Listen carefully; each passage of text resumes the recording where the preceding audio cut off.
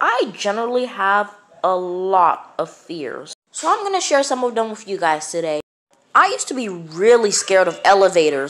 I thought I'd get trapped in it someday. Or the cables would probably snap and I'd fall to my death.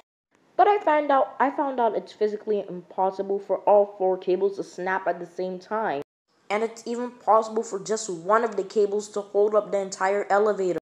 Assuming all four cables break, the brakes in the elevator would stop the elevator from falling before you'd even, well, before it even started to fall.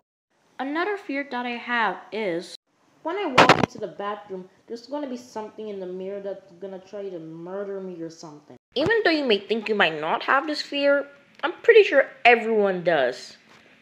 Well, you just don't know it yet. Some, well, I'm afraid that someday there's gonna be a fire in the building. Then I'm gonna be cornered to the wall, trying not to get burnt. And then suddenly, I have to I have to jump out the window to survive. And keep in mind, guys, this is like five floors. I, I live on the fifth floor. There are six floors in our building, but five floors. I'm also afraid of being eaten alive and being bitten by something poisonous and getting kidnapped or being harmed physically in any way. I'm also afraid of being murdered by those robots in Five Nights at Freddy's. Thanks, guys. I'll see you next week. I'll try to post videos every week. And don't forget to subscribe so you don't miss any of my videos.